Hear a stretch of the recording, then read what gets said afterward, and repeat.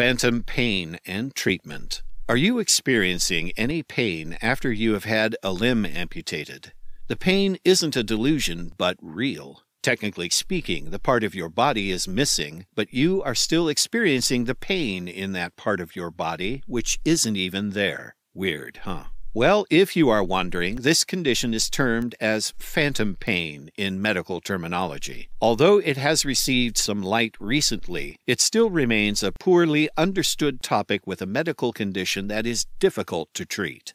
What is phantom pain? Phantom pain is referred to as a neuropathic pain that is experienced in the body part which is no longer present in the body. Sensations like throbbing, piercing, tingling, and pinpricking are the most frequently experienced ones in the case of phantom pain. Phantom pain can range from mild to severe. It can last from a second to days or even longer. These sensations of phantom pain may have an onset at a different time in different people. It may occur immediately after the amputation has been done or years after the procedure. So the onset may be within a month or so of amputation or a year or two after the procedure.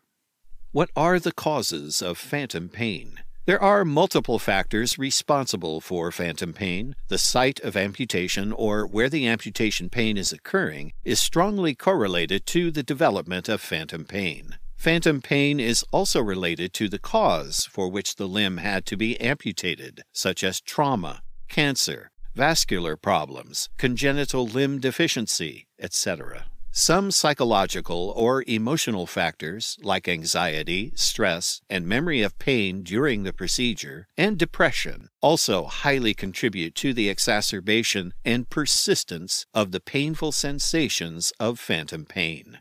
What is the treatment of phantom pain? It is quite a process to find the right treatment to relieve your phantom pain. The treatment is initially done with medications and gradually some non invasive techniques like acupuncture and physiotherapy are introduced.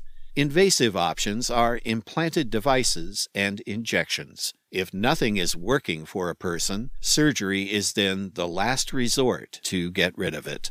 The most recent therapy, mirror therapy, has been introduced. Researchers have found mixed results in controlled trials of mirror therapy in phantom pain. Multidisciplinary measures have helped in achieving the most successful outcomes in this therapy.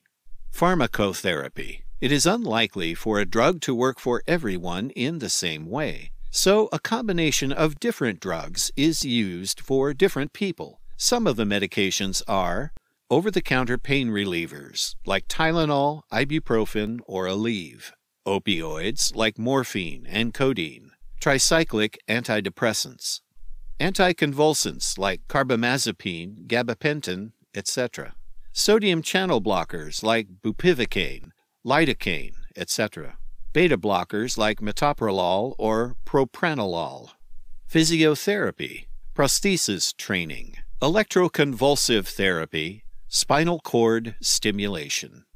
Other treatments.